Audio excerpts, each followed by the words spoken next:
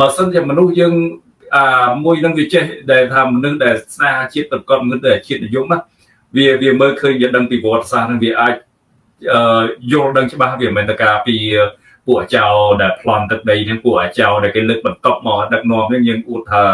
ទៅការពីរឿងរឿងព្រៃជីករឿងអីហ្នឹងវាវាមិនសមហេតុផលទេចំពោះខ្ញុំខ្ញុំ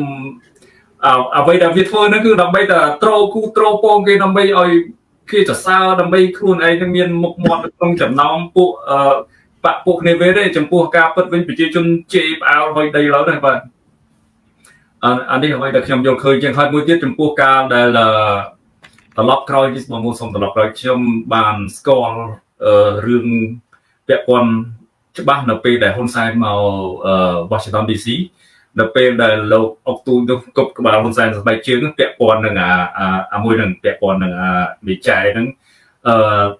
ទៅទៅពាក់ព័ន្ធរឿងនឹងមុនគេពីព្រោះពេលដែលយើងទៅបាតកម្មយើងទៅថ្ងៃអាទិត្យយើងបាតកម្មដែលប្រឆាំងជាមួយកូនផ្សាយនៅថ្ងៃអាទិត្យគេបំបីយើងមកធ្វើជាមួយគ្នាប៉ុន្តែហេតុអីបាទម្ចាស់នឹងវាទៅមុនគេវាទៅថ្ងៃសៅរ៍បាទវាទៅថ្ងៃសៅរ៍វាធ្វើឲ្យជួបលពូអុកទូចហ្នឹងពីព្រោះលពូអុកទូចហ្នឹងគាត់ជាអ្នកទៅទទួល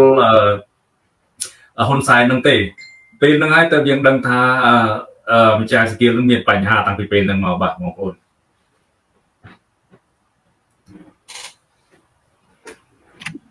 អូខេបង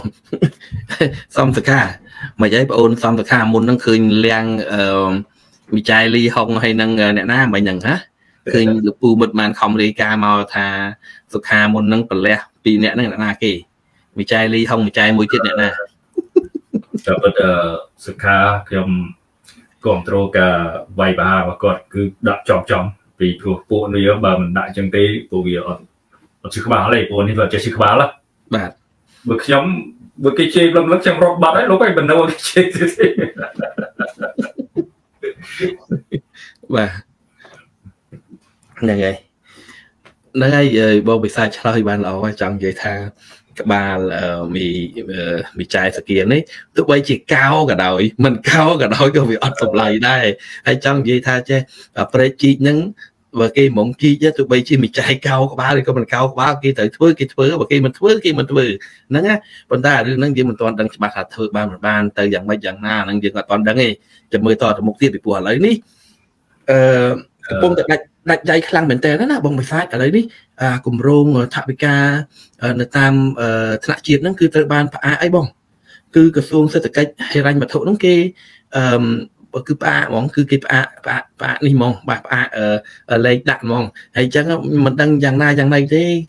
មើលទៅនឹងបានលុយបានលុយចែកឲ្យឲ្យមីចាយហើយនឹងអ្នកដែលទៅពីអាមេរិកនឹងអត់ទេថ្ងៃមុននេះម្នាក់ដែលទៅពីអាមេរិក ដែលគេអួតថាគេជាវិស្វករអគិសនីបាទអួតថាគេនឹងវិស្វករអគិសនីនៅអាមេរិកហើយចុះទៅនឹងឥឡូវមកវិញហើយបាទអំពីអំពីហ្មងមកវិញណាបើតាមខ្ញុំដឹងឬសូថាអំពីអំពីហ្មងវិញថាគេអត់ឲ្យទូនាទីបងមិនខ្លាចគេមិនឲ្យចំណាយទេបាទសួរសវុតទឹកឡំសុខបាយបង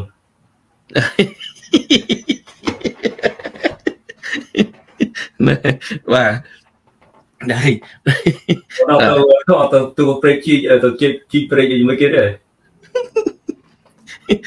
ចុះព្រេកជីកអត់ទេចាញ់បងរតនាទេបងរតនាចូល100បាទបាទអាដាមសនីផ្កាយ3ទៅចូលឡងអត់ទាន់ឃើញតម្លាក់លុយឲ្យមារីសោះបាទអញ្ចឹងហើយបានថាដាក់ទៅដាក់100ទៅទៅជួយជីកព្រេកជីកផងបាទដល់ហើយពីព្រោះហ៊ុនសែនបាទជា ខ្វះថវិកាជីប្រជីឥឡូវគេគេអង្គគ្នាប្រមូលឬសូថាសំបីតែសិស្សទៅរៀនសាលាក៏ឲ្យក្មេងៗហ្នឹងក៏ឲ្យជួយម្នាក់2រៀលអឺ200អីចឹងដែរណា200ឬក៏300ដែរឥឡូវអាហ្នឹងអ្វីដែលខ្ញុំឮអូនិយាយចឹងនិយាយហ្នឹងបើនិយាយហ្នឹងត្រូវខ្ញុំសង្កេតឃើញក្មេងៗសិស្សសាលាច្រើនណានាំគ្នាបដូរ profile ហ្នឹងដោយសារគ្រូគេណែនាំហ្នឹងគ្រូគេណែនាំអញ្ចឹងបើថា ពិបាកណាបងអើយបើសិនជាការគ្រប់គ្រងពុតប្រកបនឹងមិនចាំបាច់អំពាវនាវមិនចាំបាច់ចេញវិធានការតាមក្រសួងតាមមន្ទីរចឹងទេប្រកាសឲ្យតែពួកគាត់ចូលរួមធ្វើដោយតាមឆន្ទៈទៅបាទប្រជាពលរដ្ឋមានការគ្រប់គ្រងពិតប្រាកដមែនមិនចាំបាច់ដាក់កំណត់បទបញ្ជាតាមមន្ទីរតាមក្រសួងនានារហូតទៅដល់មន្ត្រីសង្ឃទាំងអស់ខ្ញុំខ្ញុំមិនជឿបងបិសាខ្ញុំមិនជឿថា ប្រសង់ទាំងអស់ហ្នឹងគាត់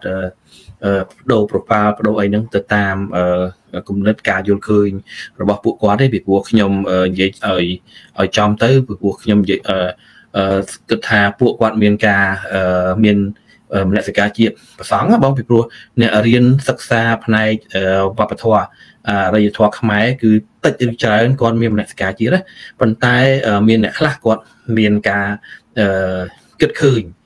តាមការអញ្ចឹងមែនប៉ុន្តែខ្ញុំមិនជឿថាច្រើនសន្ធឹកសន្ធាប់ដោយរូបភាពហ្នឹងទេមានខ្ញុំមិនមែនមិនបដិសេធថាគេបខំទាំងអស់ទេដូចខ្ញុំថាអញ្ចឹងខ្ញុំថាអ្នកខ្លះធ្វើ profile ធ្វើអីហ្នឹងគឺដោយសារតែគេបង្ខំបាទប៉ុន្តែ មានមួយចំនួនតូចហ្នឹងគឺជាការស្ម័គ្រចិត្តឬមួយគឺជាការយល់ឃើញរបស់គេគេមើលឃើញថាអីអាណាអីអីចឹងទៅបាទតាមការនេះចឹងទៅហើយឥឡូវហ្នឹងតិចទៀតខ្ញុំនឹងចាក់វីដេអូអា អាគ្នាអាគ្នាមុននឹងវាវាឡាយហើយអាមួយនោះឲ្យតែឃើញខ្ញុំចូលទៅទៅស្ដាប់វាណាទោះបីខ្ញុំអត់ខមមិនអីវាក៏ដោយក៏វាឲ្យតែឃើញខ្ញុំចូលទៅស្ដាប់វាហៅខ្ញុំរហូតអានឹងឌឺហ្មងហើយចាំមើលតិចទៀតខ្ញុំចាក់ចាក់សលេងគ្នាវាឡាយមុននឹងឲ្យបងប្អូនជួយសោកទាំងអស់គ្នាអំពីគំនិតអ្នកដែលគ្រប់គ្រងប្រជាជាតិនឹងខ្ញុំនិយាយតាមត្រង់ទៅបងវិសាចប្រជាជាតិហ្នឹងបើសិនជាជីកដោយលុយខ្លួនយើង យើងមិនអោយចិនគ្រប់គ្រងណាហើយមិនមែនជីកនៅក្នុងកលៈទេសៈដែលចិនកំពុងតែរៀបគម្រោងធ្វើផ្លូវមួយខ្សែក្រវ៉ាត់មួយហើយចិនកំពុងតែបរិយាកំពុងផែយុទ្ធសាស្ត្រនៅកំពុងផែនៅរៀមនៅផងគឺផ្លូវហ្នឹងវាចាក់ចំទៅប្រេកជីនេះវាចាក់ចំទៅក្បែរក្បែររៀមនឹងឯងអញ្ចឹងហើយបានបានជាចំណុចហ្នឹងយើងមើលឃើញអំពីហានិភ័យ ហានិភ័យនៅក្នុងតំបន់ហ្នឹងគឺយើងមើលឃើញត្រង់ចំណុចហ្នឹងវាមានហានិភ័យជាជាងផលចំណេញចេញមកពីការជីកព្រែកហ្នឹងប៉ុន្តែខ្ញុំមិនមែនបដិសេធថាជីកព្រែកវាអត់ចំណេញទេវាអត់បានទទួលលទ្ធផលទេវាបានទទួលប៉ុន្តែបើប្រៀបធៀបទៅនឹងហានិភ័យបញ្ហាផ្សេងៗហ្នឹងគឺมันអាចប្រៀបធៀបបានទេហើយមិនមែនដែលយើងមិនគ្រប់គ្រងហ្នឹងមិនមែនមានន័យថាយើងនឹងគ្រប់គ្រងយួននេះអត់មានទេរឿងយួនវា ប៉ះពាល់ផលប្រយោជន៍វាវាជាការពិតហើយបាទក៏ប៉ុន្តែប្រេជីកនេះក៏ប៉ះពាល់ដល់ផលប្រយោជន៍ហើយនឹងភាពអសន្តិសុខខ្មែរដែរដែលរបបហ៊ុនសែននឹងអត់បានរៀបរាប់ប្រាប់អំពីហានិភ័យទាំងអស់ អញ្ចឹងហើយបានថាអារឿងទាំងអស់ហ្នឹងហើយដែលថាយើងមិនគ្រប់គ្រងគឺយើងមានមូលហេតុអញ្ចឹងបើរបបគេនោះគេចង់ជំរុញឲ្យទៅធ្វើដោយសារតែចិនបខំហ្នឹងតាមមើលទៅគឺចិនបខំមកជាពាក់លុយចិនច្រើនណាបើមិនជាមិនជីកប្រេកនឹងបានទេគេចាប់ចរិតទាទាលុយបំណុលមកវិញបាទទាទាបំណុលមកវិញហើយបច្ចុប្បន្ននេះយើងកុំថាអឺ ប្រទេសខ្មែរមានចារកម្មយួនខ្លាំងប៉ុណ្ណឹងចិនណារឿងចារកម្មចិនហ្នឹងក៏មិនធម្មតាដែរចារកម្មចិនហ្នឹងមានមានជ្រាបរហូតទៅដល់ ប្រទេសធំធំដូចជាអាល្លឺម៉ង់បារាំងសូម្បីតែនៅអាមេរិកហ្នឹងកំពុងសង្ស័យថាមានចារកម្មចិនធ្វើការផងហើយអញ្ចឹងកុំមកថាអីណាចារកម្មយួនប្រជាធ្វើការនៅក្នុងរបបហ៊ុនសែនហ្នឹងអាចទប់ទល់ជាមួយចិនបានអាហ្នឹងវាជារឿងមួយដែលយើងមានការព្រួយបារម្ភហ្នឹងគឺវាខ្លាចផ្ទុះសង្គ្រាមដល់ទៅពីថាផ្ទុះសង្គ្រាមចិនហើយនឹងយួនវាយគ្នាទីបំផុតខ្មែរទេបាទខ្មែរទេអ្នករងតែភ្នែកតែអីខ្មែរអស់ដីចិនយួនវាយខ្មែរអស់ខ្មែរអស់ដីអស់ជីវិត អានឹងយើងមើលសម័យខ្មែរក្រហមប្រវត្តិសាស្ត្រហ្នឹងគឺដើរទៅរកផ្លូវហ្នឹងឯងបាទហ្នឹងហើយបាទហើយអឺអឺបងមានអីបន្ថែមទេខ្ញុំទៅចាក់វីដេអូអាគ្នាតិចបានព្រៃជីហ្នឹងវាជាយុទ្ធសាស្ត្រដោយយើងនិយាយដែរដែរហើយគឺជាអ្វីដែលចិនចង់បានហើយហ៊ុនសែននឹងគ្មានតកណិតអីចង់បានការពារជាតិការពារខ្មោចនេះវាការពារតែអំណាចវាទេអ្វីដែលវាធ្វើហ្នឹងគឺដោយសារតែរដ្ឋាភិបាលអា ណត្តិថ្មីនឹងដឹកនាំដែរហ៊ុនម៉ាណែតនឹងវាអត់មានប្រជាប្រិយភាពដល់ពេលហ៊ុនសែនចុះចេញទៅឃើញហ៊ុនសែនចេញផ្ទេរអំណាចឲ្យទៅហ៊ុនម៉ាណែតហ្នឹងហ៊ុនសែនទៅប្លន់អំណាចរបស់អឺស្អីសាយឈុំធ្វើជាប្រធានព្រឹទ្ធសភាហ្នឹងគឺដើម្បីជួយឲ្យហ៊ុនម៉ាណែតពីក្រោយហ្នឹងដល់ពេលវាអត់មានលទ្ធភាពដែលធ្វើអីឲ្យសេដ្ឋកិច្ចរីកចម្រើនឲ្យប្រជាប្រិយភាពខ្លួនឯងហ្នឹងវាវារីកដូចមុនដោយ សម័យ40ឆ្នាំទៅហើយក៏វាអស់មានអ្នកណាគ្រប់គ្រងទៀតណាម្ល៉េះហើយក៏បង្កើតរឿងព្រៃជីកនិងរឿងជាតិចលនាជាតិនិយមនឹងដើម្បីឲ្យជាពិរដ្ឋគ្រប់គ្រងអីចឹងទៅឲ្យឃើញថាអូអានេះជាស្នាដៃរបស់ហ៊ុនសែនក៏ប៉ុន្តែបើនិយាយតាមប្រវត្តិសាស្ត្រអាគម្រោងព្រៃជីកហ្នឹងតាំងពីសម័យចំនួន93តាំងពីអឺ សម្ដេចនរោត្តមរណរដ្ឋក៏មានបំណងចង់ជីកដែរគឺការហ្នឹងដូចគេនិយាយគ្រប់គ្នាហើយថាហ៊ុនសែនហ្នឹងប្រឆាំងដាច់ខាតតែមកឲ្យជីកពោះប៉ះពាល់ប៉ះពាល់ផលប្រយោជន៍យួនហ្នឹងហើយមិនហ៊ុនសែនប្រឆាំងមកជីកទេហ៊ុនសែនថាណាតែហ៊ានតែប៉ះយួនគឺអឺគឺថាជុំក្តាមជុះហើយចំណងហ្នឹងមិនហ្នឹងហ៊ុនសែននិយាយខ្លាំងខ្លាំងពេកហ្នឹងហើយរហូតមកដល់ឥឡូវនេះដល់ពេលអឺខ្លួនឯងអស់មានប្រជាប្រិយភាពប្រជាជនដឹងពី ទង្វើអាក្រក់ពីទង្វើថោកទាបដល់ការដឹកនាំរបស់ខ្លួនឯងធ្វើឯងមកជាតិនិយមមេណាហ៊ានប្រឆាំងជាមួយយូនេណាអានេះវាប្រឆាំងតាតាមាត់ក្រៅតាសម្បកក្រៅវាពាក់ព័ន្ធនឹងប្រជាជនហើយដល់ពេលយូនដាក់មកក្តឹងទៅនៅស្អីខេត្តកំពង់ស្ពឺមកក្តឹងងាប់អស់20នាក់ហ្នឹងទៅហ៊ុនសែនស្ងាត់ឈឹងឥឡូវបិណ្ឌមាត់ដូចកញ្ចក់ទៀតហ៊ុនសែនណាហ៊ានចេញមកអត់ទៀតហ្នឹងអាហ្នឹងអាហ្នឹងជាការពិតយើងយើងប្រើច្បាស់ចឹង បាទគេជាការប៉ុនដាក់មកក្ដុងទៅហ៊ុនសែនអត់នេះសូតែដេកឈឺបាត់ហើយនៅប៉ុណ្ណឹងមិនដឹងដេកញាក់សាច់ប្រហែលខែទេតរំបានជាមកវិញបានបានលើកមកវិញហើយចរិតហ៊ុនសែននេះបងប្អូនមើលចំពោះចំពោះប្រទេសថៃប្រទេសឡាវអូគេគេអាងណាគេបញ្ជូនតប24ម៉ោងគេគេអាងជាមួយយួនហ៊ុនសែនទៅដេកញាក់សាច់ដេកញាក់សាច់តែត្រូវអឺខ្លាចណាស់បាទពីព្រោះនៅជុំវិញហ៊ុនសែនហ្នឹងសើយួនហ្នឹង នៅផ្ទះហ៊ុនសែនស្អីគេហៅប្រទីតាំងកសាងគេហ្នឹងសុទ្ធតែយូរវិញហ្នឹងហើយពួកហ្នឹងវាមកចាំការពីហ៊ុនសែនចាំមើលហ៊ុនសែនធ្វើខុសដែរចឹងហើយបានតែយើងអ្វីដែលយើងមើលឃើញហ្នឹងវាវាអត់ជាការពិតទេហើយអ្នកដែលជ្រួលច្បល់ទៅដូរ profile អីតាមហ្នឹងហើយបងឡងអត់គាត់តទៅឃើញដូរ profile អឺតឃើញដូរ profile control ព្រឹកជីគេខ្ញុំដូរតែដូរហើយឲ្យឃើញខៀវខៀវបៃតងហ្នឹងដូរតែ ហើយហើយមួយទៀតខ្ញុំគាត់ចង់ប្រាប់ឲ្យបងប្អូនរឿងយុទ្ធសាស្ត្រយួននេះបងប្អូនត្រូវចាំច្បាស់កាលពីសម័យយួនក៏សម័យមុនក៏ដល់គេបោកប្រាស់អ្នកណាដែលស្នាជាតិប្រឆាំងយួនអញ្ចឹងណាអឺគេប្រមូលធ្វើជាចលនាមួយអ្នកប្រឆាំងយួននាំទៅនាំទៅច្បាំងយួនអញ្ចឹង ទីបំផុតពួកគេប្រមូលម្ដងយកទៅស្លាប់ចោលហើយលើនេះខ្ញុំយល់ថាជាយុទ្ធសាស្ត្ររបស់យួនលើកទី2ដែលប្រជាហ៊ុនសែនធ្វើហ្នឹងចង់ដឹងថាការគ្រប់គ្រងរបស់យួន40ឆ្នាំហ្នឹងគេអាចដឹងថាតើប្រជាជនខ្មែរអាចបដូរគំនិតជប់ចៅយួននៅដល់ពេលហ៊ុនសែនប្រកាសវុបថាគ្រប់គ្រងយួនហ្នឹងអ្នកស្នេហាជាតិជាតិនិយមហ្នឹងផ្ទុះផ្ទុះឡើងដូរគ្រប់គ្នាអាហ្នឹងយើងអាចជាយុទ្ធសាស្ត្ររបស់យួនមួយគេកត់ត្រាទុក ចាំឈ្មោះហើយជាពិសេសអ្នកធ្វើការក្នុងក្រសួងធំធំទាំងអស់ហ្នឹងគេនឹងចងចាំមុខថ្ងៃណាមួយនឹងមានរឿងគឺពួកហ្នឹងទៅកិច្ចអផុតទេបាទព្រោះថាប្រជាជនប្រហែលជាអាចអឺរួចខ្លួនខ្លះបើជាពួកមន្ត្រីរាជការវិញដល់ពេលដែលយួនវាយចូលនៅទៀតខ្ញុំជឿថាពួកនេះប្រឆាំងវាគ្រប់គ្រងហ៊ុនសែនណានេះខ្ញុំជឿថាជាល្បិចហ៊ុនសែនជាមួយយួននៅបងប្អូនត្រូវប្រយ័ត្នរឿងរឿងបញ្ហាហ្នឹងបាទអូខេបងហ្នឹងហើយសួស្តីបងអូនហេងហេងលី អឺឥឡូវខ្ញុំចូលទៅចាក់វីដេអូអាបុនីគឹមកន្លែងមុននេះបន្តិចបងពិស័យហាមសោចហ្នឹ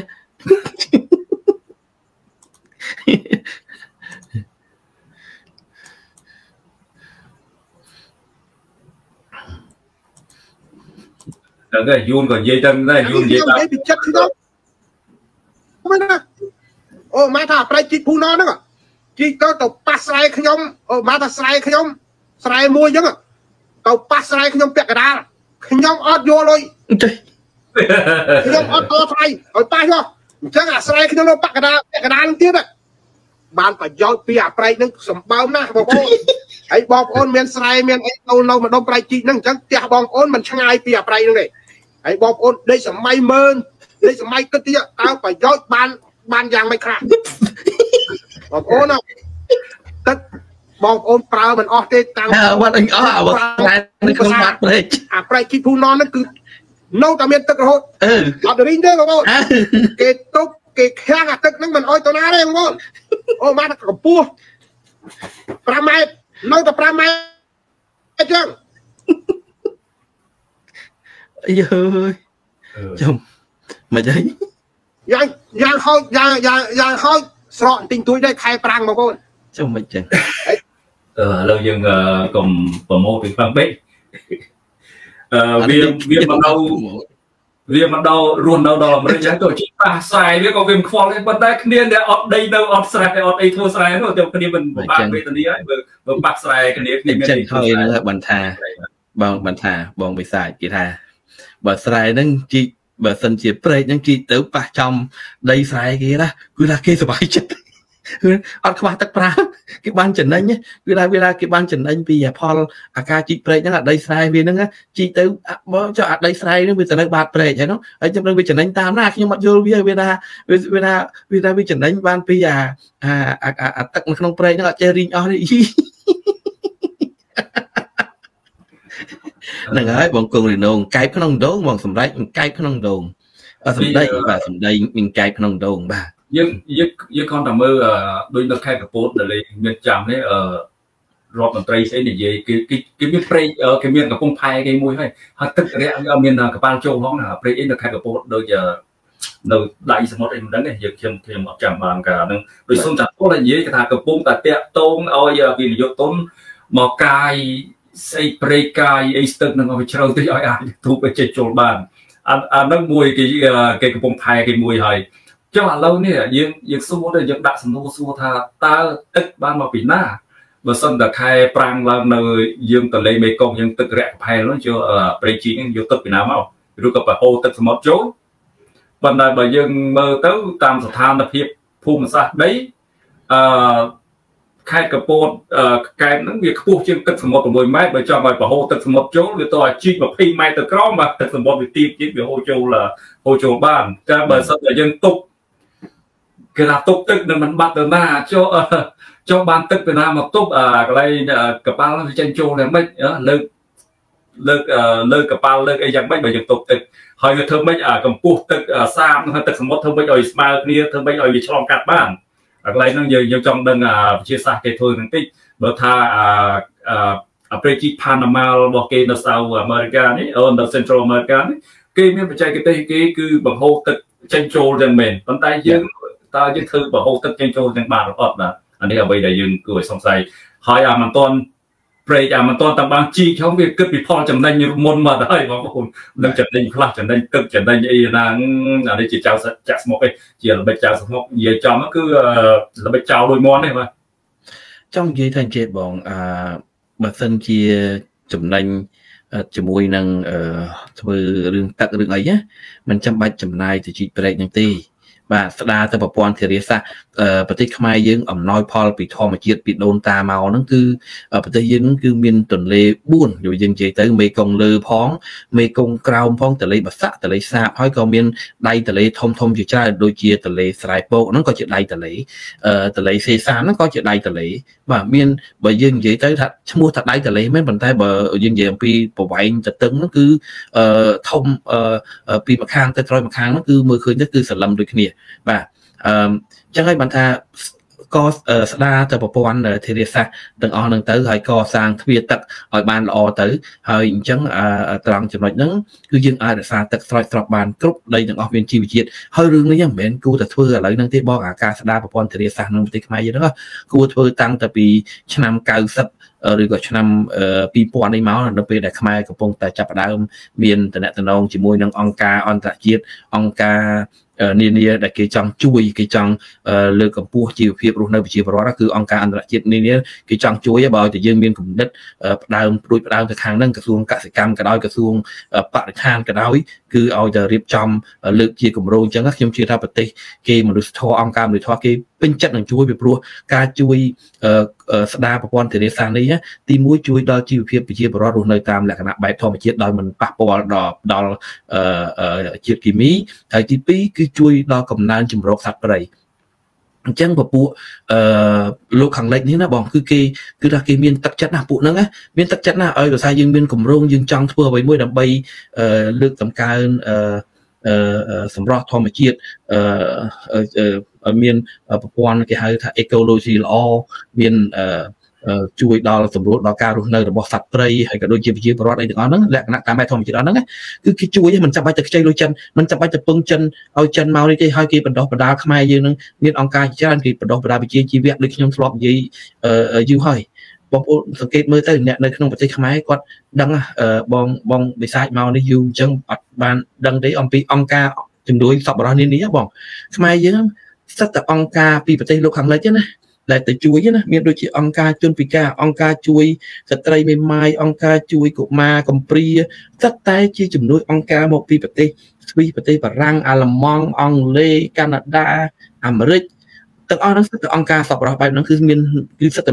ចេញទៅវិប្រទេសហ្នឹងអត់ដែរមានអង្គការចិនទេបងអត់ដែរមានចិនណាទៅបើកអង្គការជួយអឺបណ្ដុះបណ្ដាលវិជ្ជាជីវៈជនពិការជួយអឺអីទេអត់មានទេចិនមានទៅទៅប្រាប់បើករោងចក្រ បើករោងចក្រហើយគឺថាជិះជាន់ធ្វើបាបកម្មករហ្នឹងគឺអ្នកវិនិយោគចិនទៅប៉ុន្តែបើចិនទៅធ្វើអង្គការជាងអត់មានទេហើយដូចខ្ញុំថាអញ្ចឹងបើសិនជាចង់ធ្វើអារឿងទាំងអស់ហ្នឹងគួរតែធ្វើយូរហើយហើយមិនចាំបាច់ជីកព្រែកទេហើយព្រែកនេះវាជីកខុសកលៈទេសៈវាខុសសម័យកាលបានជាយើងមិនគ្រប់គ្រងព្រោះព្រោះសម័យនេះគឺកលៈទេសៈនេះគឺចិនកំពុងតែមានចំនួនជុំវិញពិភពលោកចិនកំពុងតែចំនួនមានចំនួននៅសមុទ្រចិនខាងត្បូងហើយគេឃើញយ៉ាងច្បាស់ចិនកំពុងតែពង្រីកទីតាំងលេនដ្ឋានភូមិសាស្ត្រអឺ យុទ្ធសាស្ត្ររបស់ចិនក្នុងការគ្រប់គ្រងសមុទ្រចិនខាងត្បូងដោយគម្រាមកំហែងធ្វើសង្គ្រាមជាមួយប្រទេសណាដែលដែលមិនអោយចិននឹងធ្វើអ្វីតាមគ្រប់គ្រងសមុទ្រចិនខាងត្បូងហើយចិនកំពុងតែសាងសង់កំពង់ផែរៀមអីអីកាន់តែច្បាស់ហើយឥឡូវហ្នឹងមកជីកព្រែកជីអីជាគម្រោងរបស់ចិនចិនគ្រប់គ្រងដល់តែជាង50ឆ្នាំទៀតនឹងហើយជាមូលហេតុដែលយើងមិនគ្រប់គ្រងពីវាជាហានិភ័យរបស់កម្ពុជាអាចចំណុចហ្នឹងបាទត្រឹមត្រូវតែលេអានេះជា ជានយោបាយសេដ្ឋកិច្ចរបស់ចិននេះតួចិនវាតនឥឡូវហ្នឹងវាមានសេដ្ឋកិច្ចវាកំពុងដើរនៅពេលដែលសេដ្ឋកិច្ចវាកំពុងតែមានដំណើរការហើយវាមើលឃើញពីអនាគតរបស់វានឹងបាត់បង់ទីផ្សារធំទីផ្សារសហភាពអឺរ៉ុបហើយនិងទីផ្សារសហរដ្ឋអាមេរិកម្ល៉េះហើយចិនវារៀបចំគម្រោងការហ្នឹងវាតាក់ទាញលោយកអាប្រទេសទូតាចអាប្រទេសដែលមានមេដឹកនាំជនផ្ដាច់ការរំលោភអំណាចអញ្ចឹង វាធ្វើឲ្យប្រទេសហ្នឹងជំពាក់បំណុលចិនគេហៅថាអឺគេថាចំនួនបំណុលចំនួនបំណុលធ្វើឲ្យប្រទេសទាំងក្រីក្រហ្នឹងចំពាក់ចិនដោយអត់អត់មានអីសងថ្ងៃក្រោយទៅចិនវាស្រួលគ្រប់គ្រងប្រទេសទាំងអស់ហ្នឹងពីព្រោះប្រជាជនច្រើនណាស់បងប្អូនប្រទេសចិនប្រជាជនច្រើនណាស់អត់មានការងារធ្វើអីគ្រប់គ្រាន់ទេយើងក៏មើលឃើញថាសេដ្ឋកិច្ចចិនរីកចម្រើនប៉ុណ្ណឹងប៉ុន្តែប្រជាជនចិនក្រណាស់ ហើយពួកមហាសេដ្ឋីរបស់វាទាំងអស់ហ្នឹងដែលមានរោងចក្រដែលមានអឺលុយកាក់ច្រើនហ្នឹងគឺគឺបានគ្រប់គ្រងដោយសាររដ្ឋទេគ្រប់គ្រងដោយសាររដ្ឋាភិបាលទេតកែចិនពួកអ្នកមានអស់វាហ្នឹងវាធ្វើតាមគោលនយោបាយរបស់របស់រដ្ឋរបស់មេដឹកនាំកុម្មុយនីសហ្នឹងទេបើសិនជាអ្នកណាមិនធ្វើតាមគឺនឹងមានបញ្ហានឹងមានបញ្ហា គ្រោះថ្នាក់ឬក៏បាត់បង់ជីវិតដោយសារតែមិនមិនមិនធ្វើស្របតាមនយោបាយរបស់របស់បកកុម្មុយនីសចឹងណាម្ល៉េះវាពាក់វាពាក់ទាញអាប្រទេសទូតាហ្នឹងដើម្បីជំនួសសេដ្ឋកិច្ចសហរដ្ឋអាមេរិកនិងសេដ្ឋកិច្ចអឺរ៉ុបអាហ្នឹងអ្វីដែលជាការសាវជ្រាវរបស់ដែលមានប្រជាធិបតេយ្យប្រទេសអាមេរិកដូចខាសហភាពអឺរ៉ុបអីគេស្រាវជ្រាវមើលឃើញអញ្ចឹងថាចិនជាប្រទេសមួយ ដែលថាលក់ចេញមិនមែនចិនមិនមែនជាប្រទេសទីផ្សារទេបងប្អូនហ៊ុនសែនដែលទៅចាប់ជាមួយចិនហ្នឹងយើងមិនហាមឲ្យចាប់ជាមួយចិនហ្នឹងប៉ុន្តែយើងរោស៊ីជាមួយគ្នាឲ្យមានតលយៈភាពស្មើគ្នាបើគេថាយកចូលយើងមក1000លានយើងត្រូវដឹកទៅចិនវិញ1000លានអាហ្នឹងវាមានភាពស្មើគ្នាហើយបងប្អូនដែលបានមើលរបាយការណ៍ក្រសួងសេដ្ឋកិច្ចនេះចិនដឹកចូលមកស្រុកខ្មែរចង់5000លានដែរលេអានឹងតាមទូលេខហើយប៉ុន្តែខ្មែរយើងដឹក ទៅលក់ឲ្យចិនវិញមានខ្ទង់ដល់8 900លានដុល្លារនេះគេខុសគ្នាប៉ុណ្ណាខុសគ្នាមេដីបងប្អូនអាកន្លែងហ្នឹងហើយគេថាបើសិនជាចិនហ្នឹងជាទីផ្សារជាទីផ្សារមែនណាយើងមិនហាមឃាត់ឲ្យឲ្យរស់ស៊ីជាមួយមិនមែនយើងមិនហាមឃាត់តែមិនឲ្យពាក់ព័ន្ធមួយចិនទេប៉ុន្តែចិនវាមិនមែនជាទីផ្សារសម្រាប់តែយើងរកប្រាក់ចំណេញជាមួយចិនទេចិនវាគេចំណេញលើយើងវិញទេអានេះយើងចង់ប្រាប់ដល់ហ៊ុនសែនដល់មេដឹកនាំហ្នឹងកុំឲ្យ មានភាពល្ងងខ្លៅពេកកដាការរុស្ស៊ីសពថ្ងៃហ្នឹងកម្ពុជាយើងមានលុយចាយដោយសារដោយសារទីផ្សារសហរដ្ឋអាមេរិកទីផ្សារអឺរ៉ុបដែរមិនមែនមានទីផ្សារចិនណាទីផ្សារចិនអត់មានអីទាំងអស់ហើយទីផ្សារយួនក៏អត់មានដែរអាយួនប្រទេសជិតខាងហ្នឹងដែលជាប្រទេសរបងជាមួយមិត្តដែលថែបមិត្តមុនឆ្នាំរបស់វាហ្នឹងវាយកកម្ពុជាធ្វើទៅទីផ្សាររបស់វាទេបងប្អូនឃើញថាប្រហែលថ្ងៃនេះតលេមិនដឹងទេអាគេផ្សាយក្នុង Facebook ប្រព័ន្ធផ្សព្វផ្សាយគេ អាសំដីគួរនេះវាឡើងថ្លៃវាឆ្លងឡើងថ្លៃប៉ុណ្ណាហេតុអីផលិតផលខ្មែរនឹងវាចុះថោកឡើងដែរប៉ុន្តែអាសំដីគួររបស់យូនរបស់អាកាសកើតណាហើយក៏ឡើងថ្លៃឡើងដែរកន្លែងហ្នឹងហើយយើងចាប់ដើមគួរដល់គួរតែយល់គួរដឹងបាទបងប្អូនអានោះពីបញ្ហាប្រេជីហ្នឹងគឺជាយុទ្ធសាស្ត្រ business របស់ចិនទេបើសិនតែយើង របបតកូលហ៊ុននេះគឺត្រូវការតែអំណាចដើម្បីជពាក់ចិនច្រើនទៅចិនជួយការពារអំណាចខ្លួនឯងព្រោះចិនគេថាបើឲ្យមេដឹកនាំតែមានប្រជាធិបតេយ្យដឹកនាំពិតប្រាកដទៅចិននឹងបាត់បង់ប្រយោជន៍បងប្អូនឡើយចិនវាខលវាការពារដល់ពួកអបដិការហ្នឹងទៅវាគេចំណេញលើបដិការឥឡូវហ្នឹងវាធ្វើអាប្រេជីនេះដើម្បីដឹករ៉ែដឹកវត្ថុធាតុដើមពីខ្មែរយើងឥឡូវកោះភ្នំកោះព្រៃចង់លាអស់ហើយបាទបងប្អូនព្រៃឈើលាអស់ឥឡូវចាប់ដើមកោះភ្នំហើយ ហើយភ្នំស្រុកខ្មែរសុទ្ធតែថ្មល្អទៀតចិត្តដឹកទាំងតោទាំងតោនៅបងប្អូននេះដឹកឡានឡានទៅបងប្អូនថាមិនបាត់ដឹងនៅខេត្តកំពង់ធំនោះចិនកំពុងដឹកហើយដឹកថ្មចេញពីប្រទេសយើងចុះអស់ហើយបាទអឺរឿងមួយទៀតហ្នឹងបង គឺអឺត្រូវមានការប្រុងប្រយ័ត្នអំពីគម្រោងនេះអឺមានបងប្អូនយើងគាត់ខ្លះគាត់បានផ្ដាំមកថាប្រយ័ត្នរឿងដីឡើងថ្លៃអឺ ដោយសារតែគម្រោងធ្វើប្រែកហ្នឹងអញ្ចឹងនៅពេលដែលគេប្រកាសថាតំបន់ណាដែលជាតំបន់មាត់ប្រែកដែលនឹងច្រកចេញចូលនឹងមានកំពង់ផែមានកប៉ាល់ដឹកទំនិញអីចូលច្រើននោះគឺនឹងធ្វើឲ្យដីនៅតំបន់ហ្នឹងឡើងថ្លៃហើយបងប្អូនប្រយ័ត្នអឺអំពីឈ្មួញដីហើយអា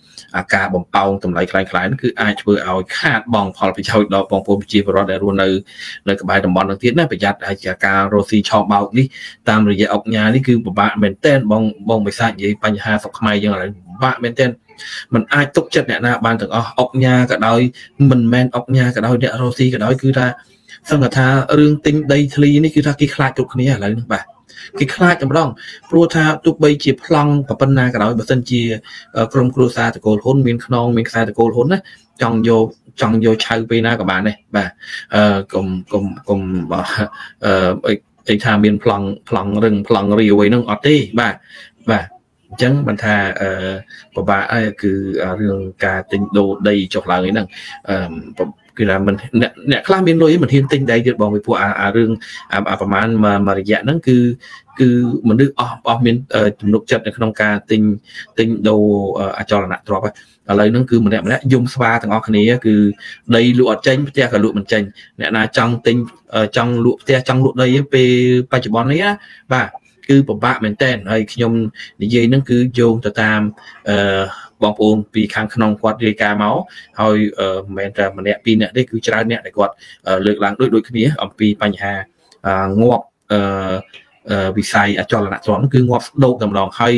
នៅកំពង់សោមហ្នឹងគឺអាគារដែលចិនសាងសង់ឲ្យទុកចោលខ្លាយទៅអាគារខ្មោចហ្នឹងមានដល់ទៅរាប់រយអាគារនោះបាទ ហើយអាហ្នឹងក៏កំពុងធ្វើឲ្យប៉ះពាល់ដល់សពនភាពនៅក្នុងទីក្រុងដែលហ៊ុនម៉ាណែតគេថាគេថាអ្នកវិនិយោគទុនអស់ហ្នឹងហើយដែលទៅអួតទៅអូសទាញអ្នកវិនិយោគទុនផ្សេងផ្សេងទៀតឲ្យមកគេទៅអួតប្រាប់ថាណែឃើញទេឯងសង់អាគារនៅនៅនៅកំពង់សោមសង់អាគារ20ជាន់នេះ សង់ឲ្យប៉ុន្តែអត់ទាន់អត់មានប្រអួចអត់មានឆ្នាំអត់មានអីទេឥឡូវវិចប្រវិចមកលុយលុយមកវិញហើយឥឡូវអាគារខ្មោចទុកចោលនៅហ្នឹងហើយណាទៅជួយឃោសនាឲ្យមកឲ្យជួយឃោសនាឲ្យត្រឡប់មកវិញមកហ្នឹងណាអញ្ចឹងមិនថាអឺទឹកឃោសនារបៀបម៉េចទៅឃោសនាតាមណាបើស្ថានភាពពិតប្រកបស្ថានភាពបច្ចុប្បន្នហ្នឹងកំពុងតែដាំក្បាលចុះទៅអញ្ចឹងហើយចេះតែផ្សាយចេះតែនិយាយឲ្យតែល្អមើលឲ្យតែល្អស្ដាប់ណាបាទហ្នឹងហើយអឺ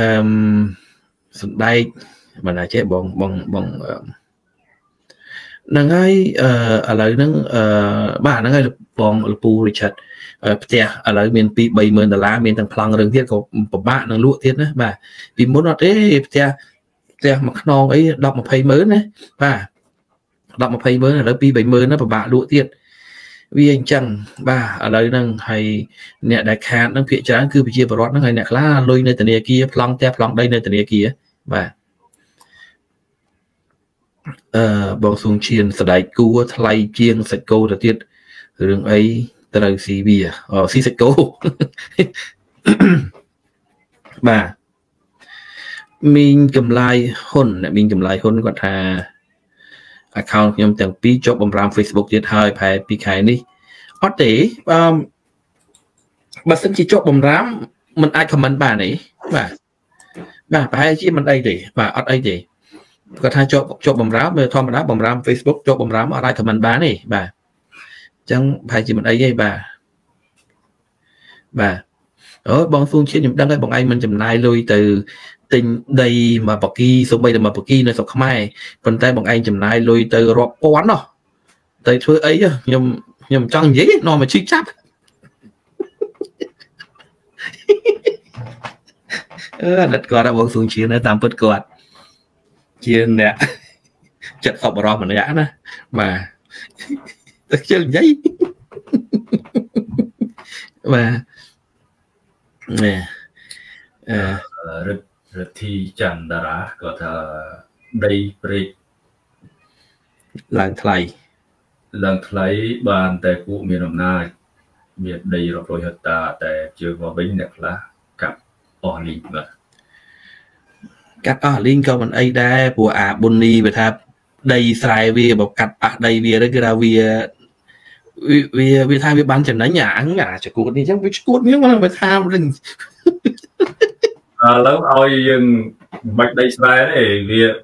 វាលក់ហាងដូណាត់វានៅពេកឥឡូវឲ្យឲ្យតែគេបិទហាងដូណាត់វាមួយខែមកវាអត់កច្រកណាស់របស់អ៊ីឈ្មោះឡើងអាគ្នា ខ្ញុំប្រាប់វាតែមុននឹងនឹងខមមិនដែរខ្ញុំថាតិចទៀតខ្ញុំឆ្លើយតបទៅវាឲ្យវាចូលមើលគេថាហ្នឹងហើយឲ្យហៅឈ្មោះវាផងវាចូលមើលឥឡូវហៅអត់ឃើញចូលមើលអាកាច់ណាហ្នឹងបោកណាប្រកែបោកណាគ្នាហ្នឹងបាទហើយរឿងមួយចែករៀនពីហ៊ុនសែនរៀនពីហ៊ុនសែនពីហ៊ុនម៉ាណែតកែបោកណាដឹងហើយមួយថ្ងៃថ្ងៃហ៊ុនម៉ាណែតនិយាយតែរឿងសេដ្ឋកិច្ចហ្នឹងបោកប្រាស់គេបោកប្រាស់តែប្រជាពលរដ្ឋដៃហ្នឹងការពិតយើងសួរទៅហ៊ុនម៉ាណែតថាតើមាន ក្រុមហ៊ុនអន្តរជាតិប្រមាណក្រុមហ៊ុនដែរទៅបើករុស្ស៊ីស្រុកខ្មែរដើម្បីតែហ៊ុនម៉ាណែតដឹកនាំ8ខែនេះវាអត់មានបងប្អូនវាអត់មានសោះហើយមកមកថ្ងៃទៅថ្ងៃហ្នឹងនិយាយបោកតែក្រុមហ៊ុននេះមកពីហុងកុងវាអត់មានលឺមកពីប្រទេសណាមកមកពីចិនដីគោវាអត់ដែរនិយាយក្រុមហ៊ុនមកចិនដីគោវាសិតមកពីហុងកុងមកពីណាអីណាពីព្រោះគេជឿលើទោះបីហុងកុងវាក្រោមការត្រួតត្រារបស់ចិនកុំមុនីមែនក៏ហុងកុងវាមានប្រជាធិបតេយ្យជាងពួកចិនដីគោនឹងដែរ ខ្ញុំមិនដឹងថាឥឡូវហ្នឹងហុងកុងនឹងវាដូររដ្ឋាភិបាលចិនគ្រប់គ្រងហើយឬនៅយើងមិនដឹងឬក៏ឲ្យរដ្ឋាភិបាលហុងកុងនឹងជាអ្នកប្រជាធិបតេយ្យនៅត្រួតត្រាដដែលខ្ញុំមិនដឹងទេបាទហុងកុងប៉ុន្តែអ្វីដែលហ៊ុនម៉ាណែតអួតបោកប្រាស់ជីប្រវត្តិហ្នឹងគឺគឺគឺតែប៉ុណ្្នឹងវាមានតែចិនដីគោកចិនហុងកុងហ្នឹងហើយសប្តាហ៍ថ្ងៃហ្នឹងបងប្អូនដឹងហើយរឿងភ្ញៀវទេសចរអីដូចថ្ងៃមុនគេសម្ដែងក្បាច់គុណខ្មែរបកតោជាមួយចិនហ្នឹងគេដើម្បីតាក់ទាញភ្ញៀវទេសចរគេថា ភ្ញៀវទេសចរចិននឹងមកលេងស្រុកខ្មែរហើយថ្មីថ្មីនេះម្សិលមិញព្រឹកមិញដោយ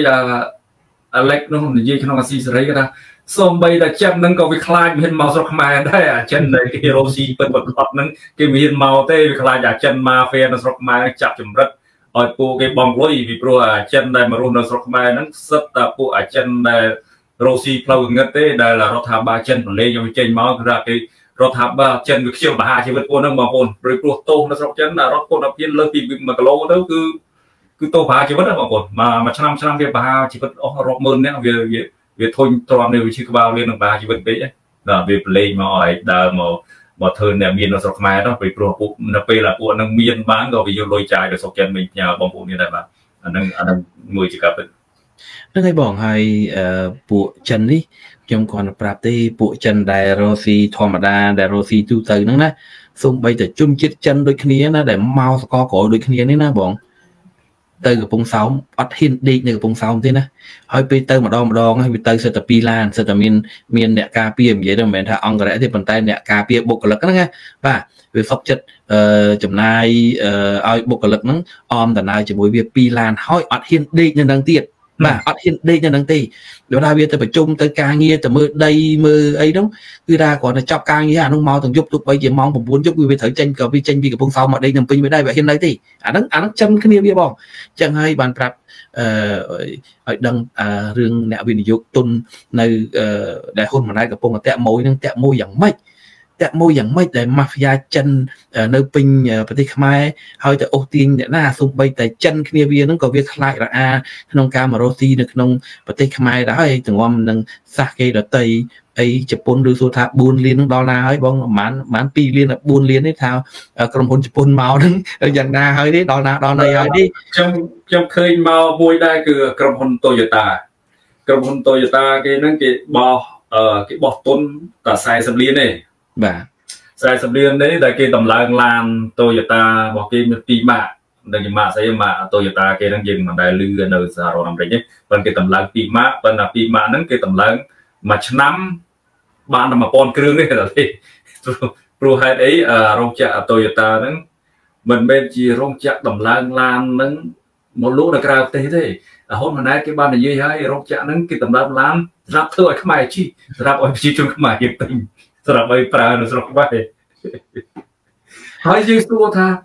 ចុះបើរោងចក្រអញ្ចឹងចឹងធ្វើឲ្យឲ្យចំណេញខ្មែរបើយកមកយករោងចក្រគេមកបើកឲ្យយកលុយខ្មែរយកទៅត្រឡប់ទៅវិញបើកយកលុយពីប្រជាប្រដ្ឋខ្មែរហ្នឹងមិនមែនមកតឡើងរោងចក្រស្រុកខ្មែរលោករបស់ប្រទេសលោកមកអាមេរិកលោកទៅអឺរ៉ុបអីអាហ្នឹងយើងយើងគួររសារលេខខ្ញុំរសារបើតែមានរោងចក្រចឹងមែនបើហ៊ុនម៉ាណែតគេនិយាយថារោងចក្រហ្នឹងគេសម្រាប់តឡើងឡានលោកឲ្យកូនខ្មែរជីទេពីព្រោះវាវាតម្លៃល្មមសមរម្យ គឺថាបើយើងទៅទៅទិញពីជប៉ុនពីអាមេរិកមកវាវាថ្លៃបាទថ្លៃរហូតគេតម្លៃទៅហ្នឹងឲ្យខ្មែរស្រាប់យើងមិនបាច់ទៅដឹកពីជប៉ុនហ្នឹងហើយបងប្អូនខ្មែរខំរស់ស៊ីទៅដើម្បីទិញឡាន Toyota ដែលហ៊ុនម៉ាណែតហៅ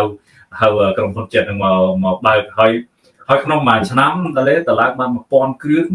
ហើយយើងគិតមើល Toyota មួយតម្លៃថា50000ចុះចុះ1000គ្រឿងបានប្រមាណ ហើយបើគេបោះទុន40លានគេចំណេញអត់បើគេមិនចំណេញសួរសួរថារឿងអីគេមកចំណាយលុយឲ្យឲ្យអស់ថ្លៃឈ្នួលឲ្យអស់ថ្លៃភ្លើងអស់ថ្លៃ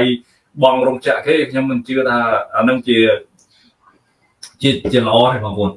អឺរោងចក្រដំឡើងតែឡានជជុំមិនមែនទេបងសុសាទយើងក៏ម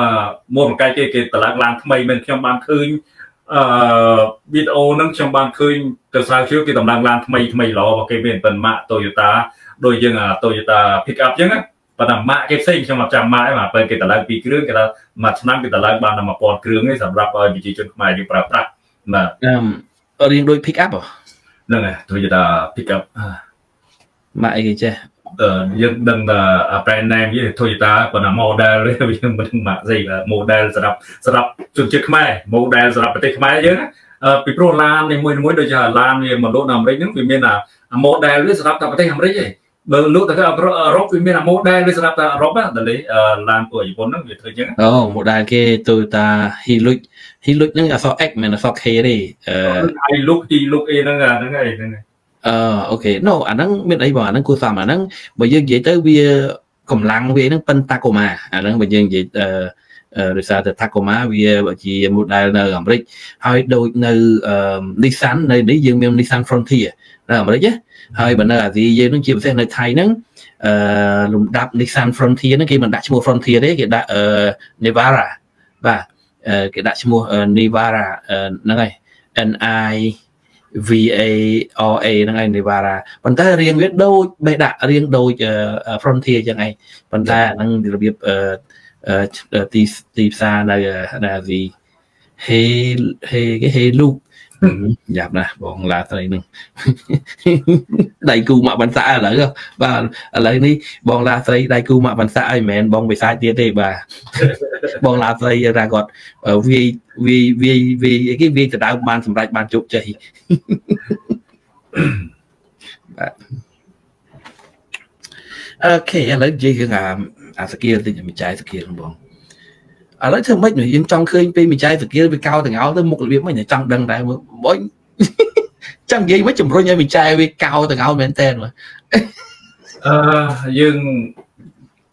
ចាំមើលតើការជីកព្រៃជីកនេះវាចេញអត់បើទី1យើងនិយាយថាបើហ៊ុនសែនមិនហ៊ានជីកទេគឺហ៊ុនសែននៅតែរយៈយូរដែរហ៊ុនសែនមិនអាចពីផុតពីយូរនេះគឺខ្លាចយូរ តែបើសិនតែហ៊ុនសែនជីកមែនហ៊ុនសែននឹងអាងកម្លាំងចិនការពារប៉ុន្តែយើងបើនិយាយពីប្រវត្តិសាស្ត្រវិញដូចជាសម័យប៉ុលពតអញ្ចឹងគេហើយយួនចិនវារត់ចោលប៉ុលពតនៅពេលដែលយួនវាយចូលប៉ុលពតមកចិនមិនបានបញ្ជូនតបមកជួយណាអូខេរឿងហ្នឹងបើបើបើនិយាយតាពីសពន្ធមិត្តដែលមិត្តដែលថៃប្រវាដោយហ៊ុនសែននិយាយបើសិនតែថាប្រទេសណាហ៊ានវាយចូលស្រុកខ្មែរគឺ គឺចិនជួយគឺចិនហ៊ានបញ្ជូនតបមកជួយដោយយើងប្រៀបធៀបសហរដ្ឋអាមេរិកហ្នឹងសហរដ្ឋអាមេរិកចំនួនណាក៏ដោយគ្មានគ្មាន president ណាហ៊ានប្រកាសដូច Joe Biden ណា Joe Biden ប្រកាសថាបើសិនតែចិនហ៊ានវាយតៃវ៉ាន់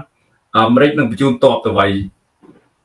ទៅជួយវាយចិនបាទជួយវាយតៃវ៉ាន់អាហ្នឹងអានោះ Joe Biden ប្រកាសចឹងប៉ុន្តែចិនណាតើវាហ៊ានប្រកាសទេបើណាហ៊ានវាយខ្មែរវាហ៊ានបញ្ជូនតបមកជួយទេដោយយើងចាំខ្ញុំបាទហើយកាលសម័យខ្មែរក្រហម ចិនអត់បានបញ្ជូនតមកជួយទេចិនមានបោះបោកចោលបាទព្រៀនកម្មបាទសួស្ដីអឺបង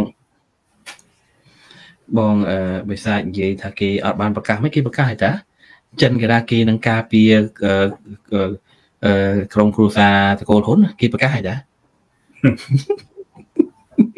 ឥឡូវសោយរបៀបថាឥឡូវចិនប្រកាសចឹងហើយសោយរបៀបថាឥឡូវ យូរនឹងក្បាលប៉ានដៃហ៊ានហ៊ានធ្វើអីគេអត់អឺមិននិយាយសុខភាពរយខ្ញុំមានវីដេអូសុខភាពរបស់យើងមកចាក់ដាក់មកបងភាសាគ្នាយើងមាន7សុខភាពគេនិយាយក្លាហានទៀតណាបាទ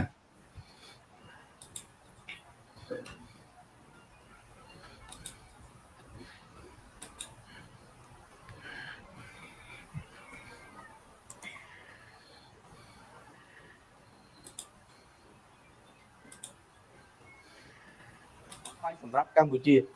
គឺមានសម្ដេចតេជោហ៊ុនសែនវៀតណាមអស់ហើយក្មេងជំនាន់ក្រោយឡើងអញ្ចឹងនយោបាយណែនៅខ្ចីអីជិះបុគ្គលណែនៅខ្ចីហើយនយោបាយរដ្ឋមន្ត្រីយើងតែពួកអង្គពីថាពីណែមក40 50ឆ្នាំហើយណាសម្ដេចហ៊ុនសែនលើប្រធានពិតជាធំទៅទៅតាមតាមបកូនណាអីបងចំណឹងសិនហើយយើងកន្លែងនេះយើងមានមុខចាក់ចាក់ពីដើមមកភាសាទៀតខ្ញុំចង់សោត អឺគេគេកាត់មកប៉ុណ្ណឹងយើងមិនដឹងពីដើមគេអីអីហ្នឹងឯងចាក់ប្រហែលម៉ាត់ដំបូងនឹងសិនឥឡូវចាក់ភាសាទៀតខ្ញុំចង់សោចនៅក្នុងឆាកនយោបាយសម្រាប់កម្ពុជាគឺមានសម្ដេចតេជោហ៊ុនសែនវៀតណាមអស់ហើយក្មេងជំនាន់ក្រោយឡើងអញ្ចឹងនយោបាយណែនៅខ្ចីសម្រាប់ជាបុគ្គលណែនៅខ្ចីណែមកនិយាយជាមួយនាយករដ្ឋមន្ត្រីយើងមិនកើតពួកលោកតាំងពីតាពីណែមក40 50ឆ្នាំហើយណាសម្ដេចហ៊ុនសែនឥឡូវប្រធាន សពិទ្ធសភាសភាធម្មសភាតូចអានតាមឥឡូវបងហ្នឹងហើយឥឡូវយើងឆ្លើយទីសិនបងប៉ុណ្្នឹងចុះឥឡូវប៉ុណ្្នឹងសិនចំណឹងសិនអីអបៈនេះចេញមកកំ pl ែងទៅទៅនយោបាយយួននៅខ្ចីហើយត្រួតក្បាលទាំងហ៊ុនសែនត្រួតក្បាលទាំងហ៊ុនម៉ាណែតហ៎ឲ្យភ្លើអញ្ចឹងមិនភ្លឺភ្លើអញ្ចឹងពួកអាក្មេងៗយួនសកលក្រោយនឹងឯងត្រួតក្បាលទាំងហ៊ុនសែនត្រួតក្បាលទាំងហ៊ុនម៉ាណែតមិនលេលើអញ្ចឹងអាលេលើ ណាអីសេដ្ឋកិច្ចនយោបាយគេនៅខ្ចីអើយងាប់អញ្ញានិយាយអញ្ចឹងមិនមែនមែននេះមែនថាយើងយើងទៅសើទេប៉ុន្តែអានេះវាវាវាទៅសើវាទៅសើមអាមេដឹកនាំដែលបំផ្លាញអស់អាលីងណាដឹកនាំ40ឆ្នាំមកប្រជាពលរដ្ឋខ្លួនឯងជាពាក់បំណុលធនាគារស្ទើរតែទាំងអស់ដឹកនាំ40ឆ្នាំមកយួនរំកិលព្រំដែនរាល់ថ្ងៃបាត់កោះត្រល់បាត់ដែនសមុទ្រ ដឹកនាំ40ឆ្នាំកន្លងមកនេះខ្មែរលក់ខ្ទេចលក់ខ្ទាធនធានរ៉ែធម្មជាតិព្រៃឈើកាប់បំផ្លាញសូម្បីតែដីខ្សាច់សូម្បីតែខ្សាច់ហ្នឹងក៏បូមយកទៅលក់ដែរកុំថាឡើយរ៉ែមាសរ៉ែលោហៈធាតុមានតម្លៃព្រៃឈើឥឡូវនេះសូម្បីតែដីខ្សាច់ហ្នឹងក៏បូមយកទៅលក់ដែរណាដឹងដឹកនាំស្អី40ឆ្នាំហើយយើងមើលមើលយួនគេគេដឹកនាំគេមានបំផ្លាញអីគេមានតែដាំដើមឈើណាប្រទេសគេមានដាំដើមឈើឡើងឡើងចង់គៀវសង្កាត់អស់ហើយត្រឡប់មកវិញអស់ហើយហើយមិនត្រឹមតែប៉ុណ្្នឹងទេ គេបជាឆ្វេងឆ្វេងបជាស្ដាំស្ដាំហ៊ុនសែនហ៊ុនម៉ាណែតហ្នឹងណាបាទគេមកលើកណាក៏គេបញ្ជាឲ្យមើលយកចិត្តទុកដាក់ប្រជាពលរដ្ឋគេដែរអាខ្លួនឯងនេះទៅទៅដល់ប្រទេសគេប្រហែលដងហើយអាទុកវេទនារបស់បងប្អូនខ្មែរក្រោមពេលដែលពឹងពាក់ឲ្យពួកវាជួយវាឆ្លោយថាអត់លោកកិច្ចការផ្ទៃក្នុងរបស់គេ ព្រោះចុះអាពេលពួកវាមកវាអឺស្អីបជាឲ្យមើលយកចិត្តទុកដាក់ប្រជាជនវាណាអាហ្នឹងវាមិនមិនមិនបជាឲ្យយើងហ្នឹងមិនមិនលូកដៃកិច្ចការផ្ទៃក្នុងរបស់យើងអាភាពអឺអាភាពយីអានេះយ៉ាប់មែនហ្មងបាទអ្វីដែលខ្ញុំចាប់អារម្មណ៍គឺគេហៅថាដែលដែលអ្វីគេថានយោបាយយួនពួកមេដឹកនាំយួនទៅនេះសើក្មេងខ្ចីមានពួកគេទេដែលដែលចាស់ទុំ40ឆ្នាំហើយ ឲ្យខ្លាចជាប្រធានព្រឹទ្ធសភាទៀតដែលចាស់ទុំប៉ុន្តែយើងសូមសួរថាហ៊ុនសែនចាស់តែអាយុទេបងប្អូនបងប្អូនយល់ដូចខ្ញុំយ៉ាងនេះហ៊ុនសែនចាស់អាយុដែរអាយុតែច្រើនទេប៉ុន្តែកណិតអមជាក្មេងទៀតបងប្អូនដូចក្មេងទៀតដែរចឹងអ្វីដែលហ៊ុនសែនធ្វើនយោបាយសប្តាហ៍ថ្ងៃហ្នឹងគេនឹកឃើញគេគេក្រោបប្រទេសគេប្រកាសហ្នឹងបងប្អូនអើយជួយចូលមកដើម្បីគ្រប់គ្រងជាតិនិយមប្រឆាំងជាមួយយួន ហើយសុយភាពនេះខំបន្តតាមក្រោយទៅអូហ៊ុនសែនចេះហ៊ុនសែនចេះហ៊ុនសែនអេណាជីវិតចាស់ទុំប៉ុន្តែយើងយើងយើងអត់មើលសេដ្ឋកិច្ចសពថ្ងៃហ្នឹងកំពុងតែកំពុងតែកៅថាសេដ្ឋកិច្ចរស់រសាដកដើមតាមយួនបើយួនអត់ផ្ដល់ឲ្យភ្លើងបើយួនអត់ដឹកស្អីឲ្យហ្នឹងហ៊ុនសែនមិនដឹងបានអីស៊ីផងសពថ្ងៃហ្នឹងមកគេដឹកចូលរក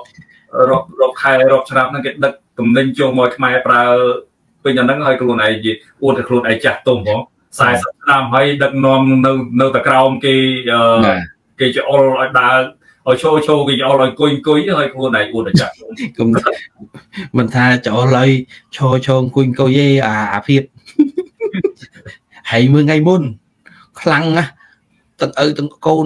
អេងក្អាងឆ្កាដៃឆ្កាឆ្កាជើង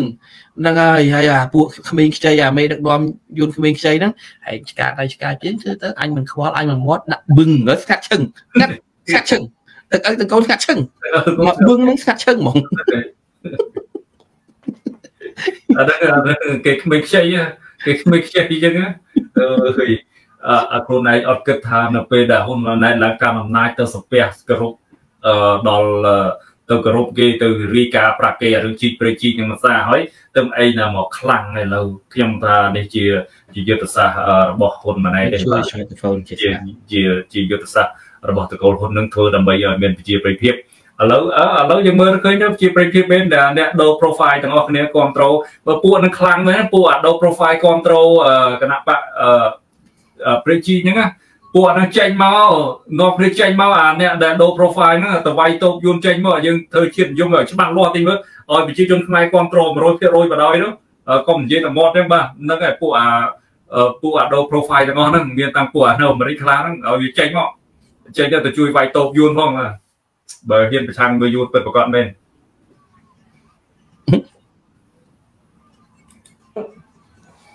កន្លែងនេះយើងមានមោទនភាពមួយទៀត គឺសម្ដេចហ៊ុនសែនយើងខ្លាយទៅជាមេដឹកនាំខ្លាំង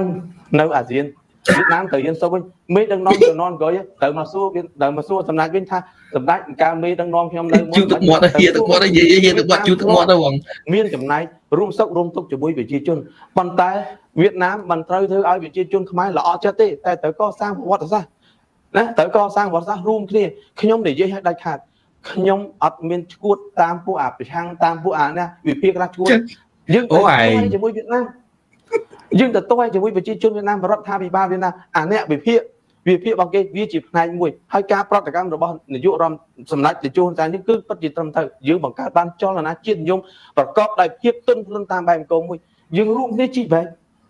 1700លានតិចណាស់ខ្ញុំថាអស់បូកតែ2 3នាក់ទៅអង្គញាសខ្មែរវាចេញអឺនេះ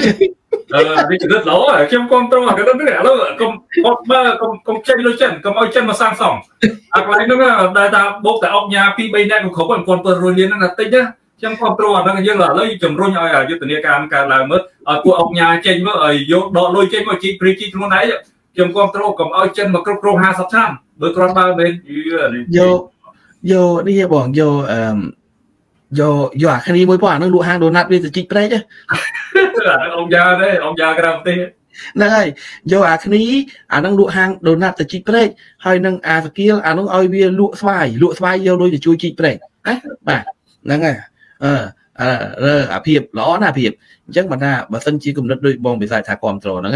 នឹងហើយដែលខ្ញុំចង់បានកុំឲ្យចិនកាប់កាប់ឲ្យសោះព្រែកហ្នឹងប្រាជីកយើងកាន់កាប់ខ្លួនឯងណាអត់មានអ្នកណាដឹកក្បាលប្រជាក្បាលហ៊ុនសែនហ៊ុនម៉ាណែតបានទេណាគឺហ៊ុនហ៊ុនសែនហ៊ុនម៉ាណែតជាអ្នកបញ្ជាក្បាលអុកញ៉ាទាំងអស់ហ្នឹងឲ្យរៃលុយយកមកជីកព្រែកខ្លួនឯងឲ្យគ្រប់គ្រងខ្លួនឯងទៅធ្វើអាហ្នឹងឲ្យបានទៅអាហ្នឹងបានថាយើងខ្លាំងមិនយើងប្រកែអាហ្នឹងខ្ញុំរកពាក្យណាមួយទៅជំទាស់ហ្នឹងក៏ពិបាកដែរណា ប៉ុន្តែកុំឲ្យពាក់ព័ន្ធជាមួយចិនណាអត់ឲ្យពាក់ព័ន្ធមួយចិនទេព្រោះហានិភ័យនៅក្នុងតំបន់ហ្នឹងគឺហានិភ័យខ្លាំងចិនកំពុងតែយកប្រទេសខ្មែរធ្វើជាលេនដ្ឋានហ្នឹងគឺគ្រោះថ្នាក់ខ្លាំងមែនទែនបាទហ្នឹងហើយហើយហើយមួយទៀតយើងជីខ្លួនឯងលុយអុកញ៉ាហើយចិនគ្រាន់តែអុយជួយការពីតកូលហ៊ុនបានហើយខ្លាចយួនវាយមកហើយមកមានណាការពីតែតម្លៃខាងភូមិសាស្ត្រនយោបាយភូមិសាស្ត្រសេដ្ឋកិច្ចហើយ វៀតណាមគេចំទាស់គេចង់បានផ្លូវអាទិភ្លើងគេចង់បានស្អីផ្សេងទៀតទេយើងកុំទៅវៀតណាមហើយខ្ញុំអត់មានស្អប់វៀតណាមខ្ញុំស្អប់តែម្នាក់គត់គឺហានប៊ិញមិញខ្ញុំនិយាយខ្ញុំស្អប់វៀតណាមតែម្នាក់ទេអានឹងវាជាមេដឹកនាំខ្ញុំជាសម្ដេចហ៊ុនសែនរួចដល់ខ្ញុំជាអ្នកកសែតមួយនៅទីនេះហើយបើគេជាសម្ដេចឯងសុបាយចិត្តណាយើងត្រូវតែវាយទៅវិញទោះបីចង់មេដឹកនាំយើងថាឲ្យយើងមិនយើងថាទៅម៉ែឲ្យយើងប៉ុន្តែឯងអ្នកដតីមកជាម៉ែអញមិនជាឲ្យអញមិនអត់បានទេអញ្ចឹងខ្ញុំបញ្ជាក់ ខ្ញុំសោយទៅភាពខ្ញុំស្អប់តែផានបិញមិញមួយទេក្រៅពីហ្នឹងគឺខ្ញុំគោរពអគ្គលេខាគ្រប់ទាំងអស់មិនធម្មតាទេយើងត្រូវគោរពហើយបើយើងគិតវិញណាយើងមោទនភាពមួយមេដឹកនាំវៀតណាមចាស់ចាស់គាត់ស្លាប់អស់ហើយណាចឹងមេដឹកនាំថ្មីដែលមកក្រោយអ្នកឯងត្រូវគោរពមេដឹកនាំរបស់យើងគឺសម្ដេចតេជោហ៊ុនសែនបងអញ្ញាអើយបងប្អូនអើយតែ ដល់តែនឹងឲ្យឲ្យឲ្យមេដឹកយួនដឹកនាំយួនមកមកគ្រប់បងប្អូនអាកន្លែងហ្នឹងខ្ញុំមិនមិនដឹងថាវាយកខ្ញុំវាយកកិត្តិយសពីណាមកដើម្បីឲ្យគេគោរពទេបើយើងខ្ញុំអត់ដែរឃើញហ៊ុនសែនអត់ដែរឃើញមេដឹកនាំយួនអាក្មេងៗណាមកមកអោនក្បាលគ្រប់ហ៊ុនសែនណាខ្ញុំធ្លាប់តែឃើញហ៊ុនសែនតែអោនក្បាលគ្រប់យួនអាហ្នឹងឃើញមានរូបថតមានវីដេអូណា អើអាភិបអើយអាភិបបងសួងងែក៏ថាអីអានេះស៊ីពេមែនហ្មងអឺខ្ញុំមិនបាក់ខ្មែរទេបងប្អូនបើសិនជាយើងជាប្រទេសមួយដែលឯករាជ្យពិតប្រាកដមែនណា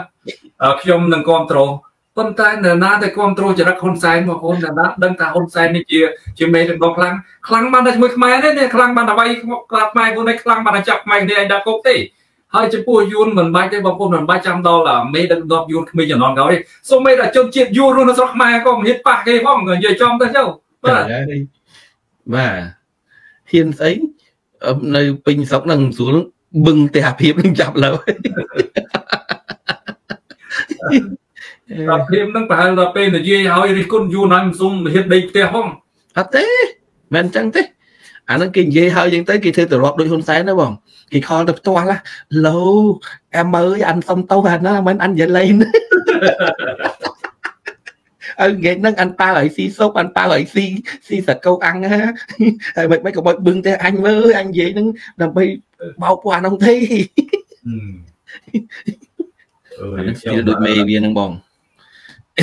ខ្ញុំមកកន្លែងហ្នឹងខ្ញុំស្ដាប់ទៅហួសចិត្តបើសិនជាបើសិនតែអ្វីអ្វីដោយយាការនិយាយស្ដីនឹងហ៊ុនសែនខ្លាំងជាងមែនណាខ្ញុំជឿថាពួកយួននៅក្នុងស្រុកគ្មានទេបើតាមចរិតហ៊ុនសែនណាបើសិនតែហ៊ានធ្វើជាងកើតបងប្អូនដោយការចំនួនឆ្នាំប្រហែលដែលវាយទូថៃបើសិនតែហ៊ុនសែនយួនខ្សោយចឹងមែនណាយួនមិនមែនគ្រប់គ្រងហ៊ុនសែនមែនណាហ៊ុនសែនដាក់យួនប៉ើងហើយបាទប៉ុន្តែយើងយើងនឹងស្រាប់ហើយហ៊ុនសែនមិនហ៊ានប៉ះពាល់មួយយួនទេបាទតាំងពីដើមមកពីព្រោះយួននៅលើកបន្ទប់យួនគេដឹងហើយថា ហ៊ុនសែននឹងកំសាកណាបើគេមិនដឹកបើគេមិនលើកឲ្យបន្ទប់នឹង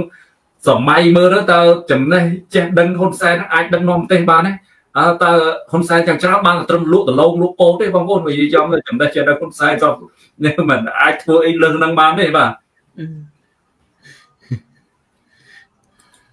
អាហ្នឹងអាហ្នឹងនិយាយឲ្យវាពិតវិញឲ្យមោទនភាពនៅក្នុងឆាកនយោបាយសម្រាប់កម្ពុជា គឺមានសម្ដេចតេជោហ៊ុនសែនវៀតណាមអស់ហើយ ក្មេងជំនាន់ក្រោយឡើងអញ្ចឹងនយោបាយណែនៅខ្ចីសម្រាប់ជាបុគ្គលណែនៅខ្ចីណែមកនិយាយជាមួយនាយករដ្ឋមន្ត្រីអឺខ្ញុំចង់និយាយចេះតែលេនយោបាយកុំមុននេះមុនគេឡើងមកឲ្យក្មេងជំនាន់ក្រោយដឹកនាំមិនមែនជាគេលើកបន្តពីឪមកកូនដូចខ្លួនឯងនេះគេសុទ្ធតែមានបទពិសោធន៍ខ្លាំងណាស់គេប្រឡូកចូលក្នុងនយោបាយគេធ្វើជាមន្ត្រីគេធ្វើជាតំណាងរាស្ត្រសពបែបយ៉ាងគេមានបទពិសោធន៍ច្បាស់លាស់ហើយបានគេគេបោះឆ្នោតគេឡើងមកតាមសម្លេងឆ្នោតរបស់គេទោះបី អឺពួកបកកុម្មុយនីសមិនមែនប្រជាជនបោះឆ្នោតឲ្យមែនប៉ុន្តែគេបោះឆ្នោតក្នុងបកគេលោះឲ្យបទពិសោធន៍គេមានខ្ពស់គេមិនស៊ីសណូពុកអលុយខ្លួនឯងដឹកនាំតាមឡើងតាមជើងខោអូហ្នឹងអាអូលើកបន្ទប់កូនខ្លួនឯងអាកូនបងលើកលើកបន្ទប់អាកូនប្អូនហ្នឹងហើយខ្លួនឯងមកទៅប្រៀបធៀបជាមួយគេងាប់ហើយខ្ញុំ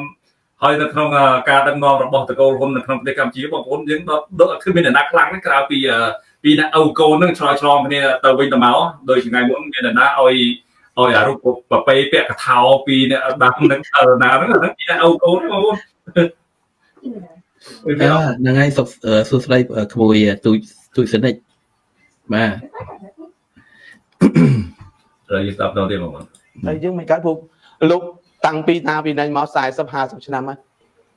ណាសម្ដេចហ៊ុនសែនលើប្រធានសព្ទសភាសភាធម្មសភាតូចអានតាមបកូនណា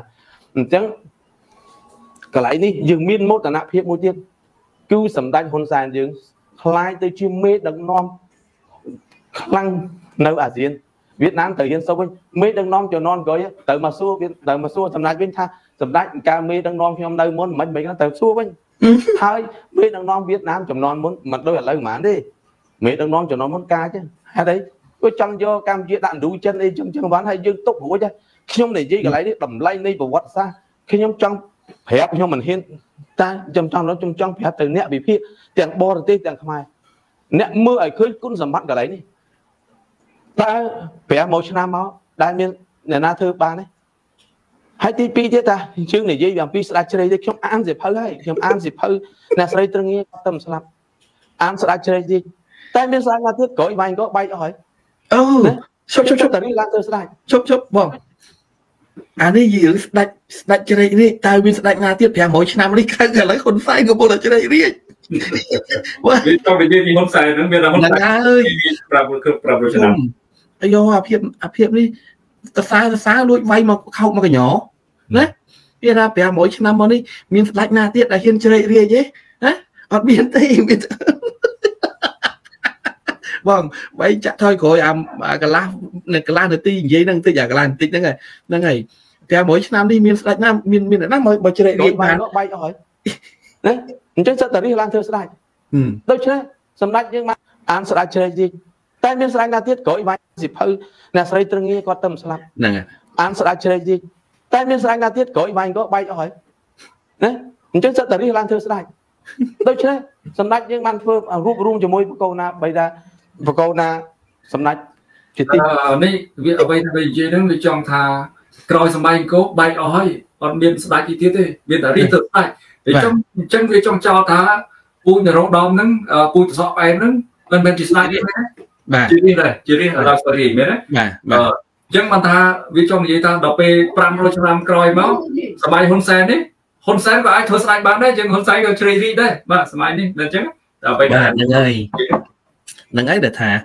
ចង់ខោកឲ្យហ៊ុនសែនណាកំពុងតែជ្រែករាជរាល់ថ្ងៃហ្នឹងហ៊ុនសែនកំពុងតែជ្រែករាជនឹងឯងហ្នឹងណាបាទ500ឆ្នាំហើយមានមានស្ដេចណាជ្រែករាជជាការពិតពីព្រោះតាំងពីសម័យស្ដេចកនដូចជាខ្ទង់ឆ្នាំ1000ប្រហែលបង1600ហ៎1500 1600 1500 1600ហ្នឹងត្រូវហើយ500ឆ្នាំមកហ្នឹងគឺមានស្ដេចកនអីដែលជ័យរាជឥឡូវនេះមកហើយមានហើយបាទអាអាកនយ៉ាមកមួយហើយ ទីរូបសក្ការៈរបស់យើងនៅគង់នៅចក្រមុខមង្គលវាជាការមួយដែលអស្ចារ្យអញ្ចឹងកន្លែងនេះសអ្នកមេដឹកនាំវៀតណាមរៀនសូត្រឬក៏មកសុំបទពិសោធន៍ពីកម្ពុជាវិញព្រោះមេដឹកនាំរបស់យើងពេលនេះចាស់អាកន្លែងនេះខ្ញុំឆ្ងល់តើឲ្យមេដឹកនាំយូរមករៀនសូត្រពីហ៊ុនសែនមិនកា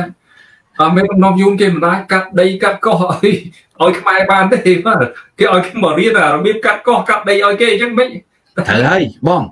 ឲ្យចឹងហើយដើម្បីរៀនអារបៀបកាត់កោះកាត់ដីទៅឲ្យចិនទៅកុំឲ្យយួនជ្រុំមួយចិនទៀតណាអាភាពវាផ្ដល់យោបល់អញ្ចឹងឥឡូវយួនត្រូវមករៀនតាមហ៊ុនសែនណាហ៊ុនសែនកាត់កោះឲ្យយួនបានឥឡូវយួនកាត់កោះឲ្យចិនដែរទៅដល់មេដឹកនាំវៀតណាមត្រូវមករៀនតាមហ៊ុនសែនដែរកាត់កោះកាត់សមុទ្រកាត់អីឲ្យគេអញ្ចឹងទៅកុំឲ្យមានសង្គ្រាមហើយឲ្យចិនទៅដាក់តបដាក់អីនៅជុំវិញស្រុកយួនទៅមករៀបទៅរៀនតាមហ៊ុនសែនអាភាពនិយាយត្រូវបង បងប្អូនយើងនិយាយនេះមិនមែនជាការពារយូរមិនមែនជាការជើងយួនទេបងប្អូនប៉ុន្តែអាការនិយាយរបស់សុយសភាពនេះវាអត់សមយើងក៏ចង់ឲ្យប្រទេសកម្ពុជាយើងខ្លាយជាប្រទេសមួយដែលខ្លាំងមិនក្រមរណកគេដែរយើងក៏ចង់បានឯករាជ្យអធិបតេយ្យភាពច្បាស់លាស់ទោះបីជាបន្ទូប្រទេសទូចក៏ដោយប្រជាជនតិចជាងយួន10ដងក៏ដោយប៉ុន្តែបើយើងមានឯករាជ្យយើងគេហៅថារូបរូបជាតិខ្ញុំជឿថាយួនវាមិនហ៊ានប៉ះពាល់យ៉ាងនេះបាទ ឥឡូវយើងឧទាហរណ៍ទៅប្រទេសដែលទូជាងគេនៅក្នុងតំបន់អាស៊ីហ្នឹងមានណាមានដូចប្រុយណេដូចសិង្ហបុរីឃើញតើមានប្រទេសណាដែលហ៊ានប៉ះពាល់ប្រទេសពីរហ្នឹងគឺទៅទៅបីគេទូចមែនមកពីគេឯករាជ្យគេមានអធិបតេយ្យភាពគេច្បាស់លាស់ហើយម្ល៉េះអាប្រទេសធំធំហ្នឹងគឺត្រូវគោរពគោលការណ៍ដែរប៉ុន្តែកម្ពុជាយើងនេះ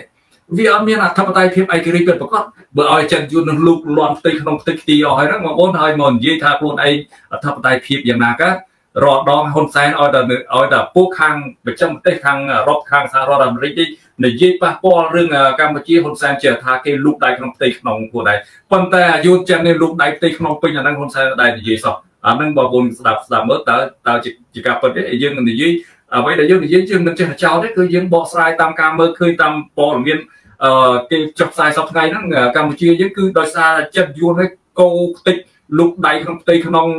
តិចទីទៅហើយបងប្អូនអាហ្នឹងហើយបានថាវាអត់មានអធិបតេយ្យភាពពីណាមកដែលដូចហ៊ុនសែននិយាយទៅមាត់ទេបាទលោកនយោបាយនេះចំនួនទ្រឹងជិញចំនួនលេយន្តចំនួនលេដែរអី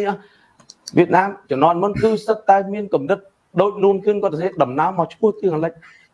ប៉ុន្តែដែលជួសានទុកដំណើរឈ្មោះទៅទីខាងលិចប្រកបថានេះមកទីចំណេញយកគេអូយ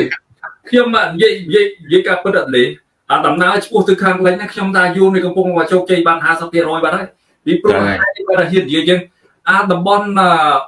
ខេត្តទាំង4ដែលហ៊ុនសែនកាត់ឲ្យយួននេះកាត់ដាក់ទៅជារបបសេដ្ឋកិច្ចពិសេសនេះតាមឲ្យយួនវាចង់បង្កើតអាកូនអនុចិនមួយនៅកន្លែងហ្នឹងប៉ុន្តែអានោះវាប៉ះពាល់ដល់ដល់ផ្ទៃនោះវាប៉ះពាល់ដល់ អន្តរជាតិប៉ះពាល់ដល់ខ្មែរលេងឡើងពេកបើគេដូរឈ្មោះទៅគេគេដាក់ជាតំបន់សេដ្ឋកិច្ចពិសេសទៅគុំគ្រប់គ្រងដល់សពថ្ងៃហ្នឹងមិនមែនអីណាមកកាត់អឺឥណ្ឌូចិនមកកើតឡើងទេបងប្អូនអាសុខភាពនេះវារឿងមួយទៀតខ្ញុំចង់ប្រាប់ទៅអាភិបដល់ល្ងងខ្លៅម្នាក់នេះឲ្យដឹងឲ្យសិក្សាអំពីប្រវត្តិសាស្ត្រទាំងប្រវត្តិសាស្ត្រជាតិទាំងប្រវត្តិសាស្ត្រអន្តរជាតិជំនាន់មុនមុនស្ដេចជំនាន់មុនមុន ដែលត្រូវយួនឈ្លានពានត្រូវសៀមឈ្លានពានបានដោយសារតែពេលនោះមិនទាន់មានអង្គការសហប្រជាជាតិមិនទាន់មានអនុសញ្ញាអង្គសហប្រជាជាតិដែលការពាររក្សាទឹកដីមិនឲ្យប្រទេសធំឈ្លានពានប្រទេសតូចបានបន្ទាប់ពីសង្គ្រាមលោកលើកទី2ចប់ទៅណា បន្ទាប់ពីសង្គ្រាមលោកលើកទី1លោកលើកទី2ចប់ទៅគេបង្កើតអង្គការសហជីវជាតិគេបង្កើតអង្គការ NATO ដើម្បីទប់ស្កាត់កុំឲ្យមានសង្គ្រាមលោកលើកទី3កុំឲ្យមានប្រទេសធំធំហ្នឹងទៅឈ្លានពានប្រទេសតូចតូចទៀតហើយចាប់តាំងពីថ្ងៃពេលហ្នឹងមកណាគេបង្កើតអង្គការសហជីវជាតិហ្នឹងគេឲ្យយកប្រទេសទាំងអស់ដែលមានផែនទីរបស់ខ្លួនបន្ទាប់ពីបានធ្វើការចរចាអឺអីហើយហ្នឹងគឺយកផែនទីទាំងអស់ទៅតម្កល់ទុកនៅអង្គការសហជីវជាតិដើម្បីរក្សាទុកជាផុសតាងពេលណាមានវិវាទមានចំនួនព្រំដែនប្រទេសណាធំធំចង់ឈ្លានពានគឺត្រូវទៅប្តឹងសាររើនៅតុលាការអន្តរជាតិទីក្រុងឡាអេហើយអង្គការសហជីវជាតិនឹងបញ្ចេញឯកសារផុសតាងផែនទីដើមទាំងអស់ឲ្យប្រទេសទាំងអស់ត្រូវតែអនុវត្តគោរពទៅតាមបទបញ្ជាសន្ធិសញ្ញាហ្នឹងបើមិនដូច្នេះទេអង្គការសហជីវជាតិដែលមានប្រទេសជាច្រើនចម្រុះហ្នឹងគេនឹងដាក់ទណ្ឌកម្មគេនឹងមានវិធីដើម្បីគំនាបប្រទេសធំហ្នឹងកុំឲ្យទៅរំលោភឈ្លានពានប្រទេសតូចហ្នឹងហើយដែលមានច្បាប់អង្គការសហជីវជាតិហ្នឹងហើយណាហេតុដូច្នេះហើយជួនវាមិនអាចធ្វើអ្វីប្រទេសផ្ដាស់បានទេទោះបីជាវាមានកម្លាំងខ្លាំងក៏ដោយមិនមែនដោយសារហ៊ុនសែនហ្នឹងមានឥទ្ធិពលមានអំណាចទេបើមិនជាអត់មានរនាំងរបស់អង្គការសហជីវជាតិរបស់អន្តរជាតិទេណាយួនវាគ្រប់គ្រងខ្មែរតាំងពីជំនាន់ខ្មែរក្រហមតាំងពីជំនាន់ខ្មែរក្រហមមកម្លេះមិនមែនមានយួនទៅរំដោះធ្វើជារំដោះអីទេដើម្បីបំផ្លាញ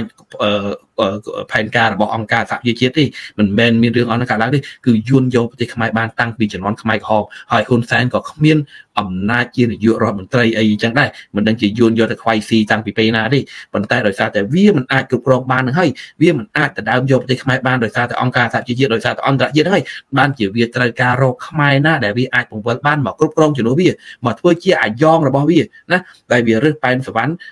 ខកបំណងរើសច័ន្ទស៊ីខកបំណង ទីបំផុតឬបានហ៊ុនសែនគឺសុកចិត្តធ្វើអ្វីអ្វីគ្រប់បែបយ៉ាងដើម្បីបំរើចវាយចវាយលាយួនណាចង់និយាយឲ្យច្បាស់អញ្ចឹងកុំបាភ្លីបាភ្លើអាភិបមុននឹងនិយាយទៅរៀនប្រវត្តិសាស្ត្រជាតិអន្តរជាតិឲ្យច្បាស់សិនថាហេតុអ្វីបានជាយួនវាមិនអាចលេបខ្មែរបានទាំងស្រុងច្បាស់លាស់ហើយបងប្អូនអឺដលេច្បាស់លាស់ហើយបងប្អូនអឺ បងប្អូនមានយោបល់អី comment ដាក់បន្ថែមមកបងប្អូនខ្ញុំនឹងអានបន្តទៀតរឿងបញ្ញាដែលហ៊ុនសែនទប់ស្កាត់ឥណ្ឌូចិននេះមិនឲ្យខ្លាយជាឥណ្ឌូចិនទេខ្មោចទោះហ៊ុនសែនស្កាត់អាដំណើរឈ្មោះទៅទិសខាងលិចនេះខ្មោចហ៊ុនសែននឹងហើយដែលជួយយួនឲ្យសម្រេចអាដំណើរឈ្មោះទៅទិសខាងលិចហ្នឹងយើងយើងនិយាយចំចឹងមកបងប្អូនពីព្រោះហេតុអីបានជាយើងហ៊ាននិយាយចឹងឥឡូវដូចហេតុអីពេលយួនគ្រប់គ្រងខ្មែរ10ឆ្នាំហ៊ុនសែនឡើងកាន់អំណាចភ្លាមហ៊ុនសែនចុះហត្ថលេខា ហត្ថលេខាជាមួយយួនរំលាយព្រំដែនហ៊ុនសែនកាត់ព្រំបន្ទល់ទឹកព្រំបន្ទល់កាត់កោះត្រល់ដើម្បីបកគលឲ្យយួនអាកន្លែងហ្នឹងហើយជារឿងអីដែលថាមិនយូរមិនលេបតបាក់ទឹកដីបងប្អូនថាហ៊ុនសែនទុកស្កាត់ពីកន្លែងណា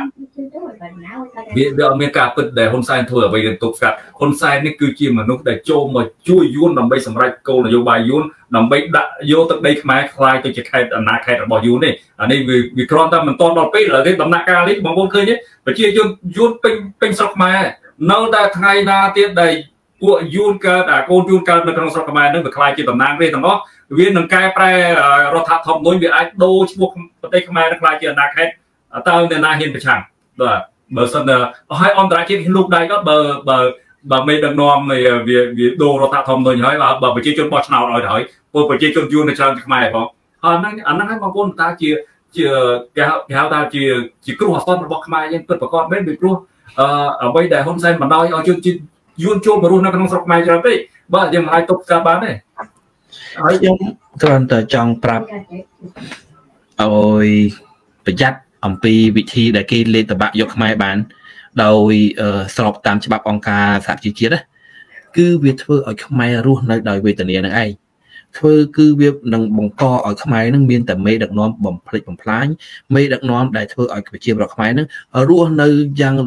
ដោយដោយដោយវេទនាខ្ញុំនិយាយនេះមិនមែនក្នុងពេលបច្ចុប្បន្ននេះទេគម្រោងការនេះអាចទៅឆ្នាំ2050បាទអាចនៅក្នុងឆ្នាំ2040ឬក៏2060ខ្ញុំមិនដឹងទេប៉ុន្តែតទៅអនាគតគេនឹងធ្វើបែបនឹងធ្វើឲ្យខ្មែររស់នៅយ៉ាងវេទនាទីបំផុតនៅពេលដែលប្រជាប្រដ្ឋខ្មែរណាអឺដូចថាគេថា exhaust មានន័យថា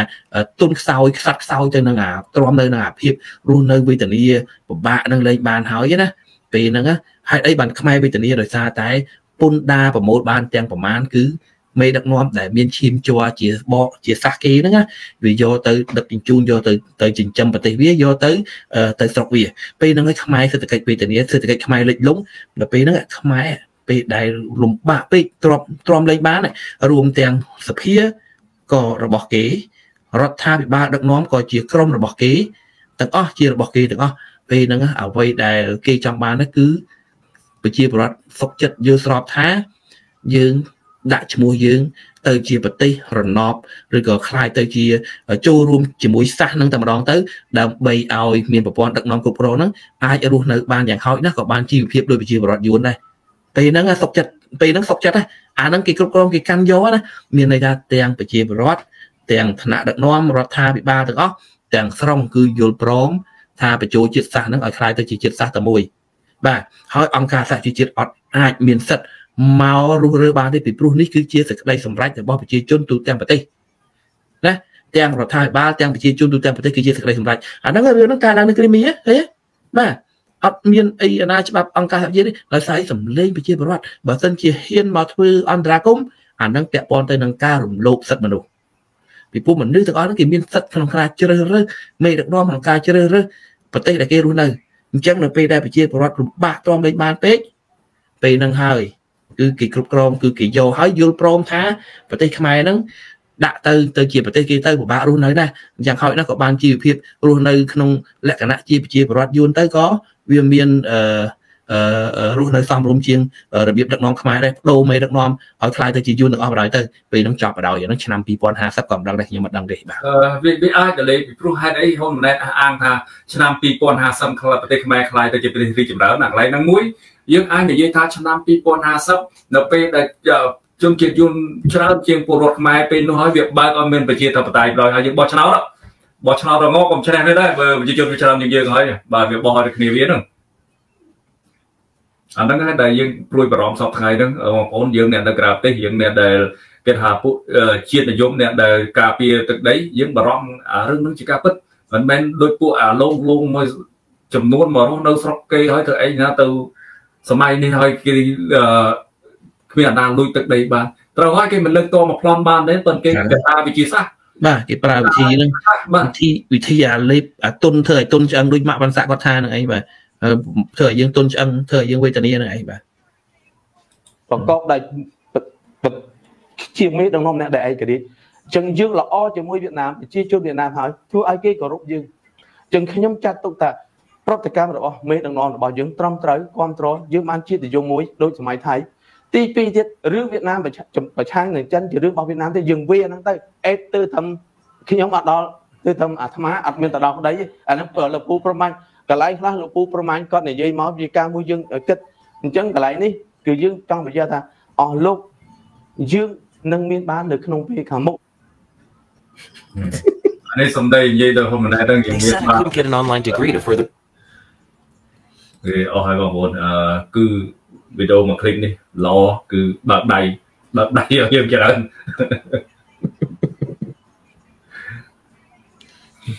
ហ្នឹងហើយបងប្អូនអឺការផ្សាយនយោបាយយើងពេល10ម៉ោងនេះគឺនឹងបញ្ចប់ហើយយើងអានខមមិនបងប្អូនចឹងបាទយើងអឺគឹមឡាយហ៊ុនរាប្តីខ្ញុំគាត់បានរត់រួចចេញពីការសម្លាប់របស់យួនបង្ខំ ខ្លួនជាខ្មែរបន្លំខ្លួនជាខ្មែរបាទបាទ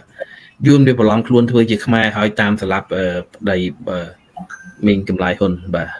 បាទនិយាយចឹងគាត់ប្រហែលជាប្រហែលជាសម័យយកចូលសម័យ79ហ្នឹងមកមើល79 79 80ហ្នឹងប្រហែល Yo I got my armor back បាទ